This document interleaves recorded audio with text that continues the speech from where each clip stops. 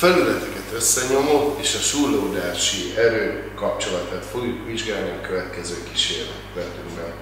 Mivel tudjuk, hogy a felületek, mikor egymáshoz érnek, az érdességükből származó súrlódási erő nagyban függ a felületeket összenyomó erőtől. Erre próbálunk bizonyítékot adni. A felületeket összenyomó erő jelen esetben magának a testnek a súlyereje.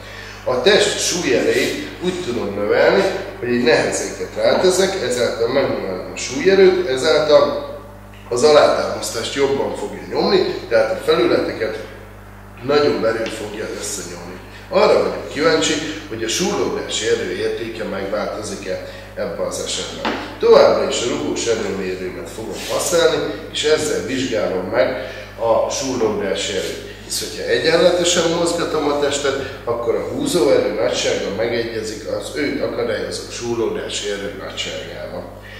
Folyamatosan mozgatom, egyenletes sebességgel, leolvasható szépen a rugós erőmérőről, hogy 0,2 Newtonos erővel leolvasható az erőmérőről, hogy 0,5 százados, nem, leolvasható az erőmérőről, hogy 0,5 század Newton nagyságú erővel kell folyamatosan mozgatni.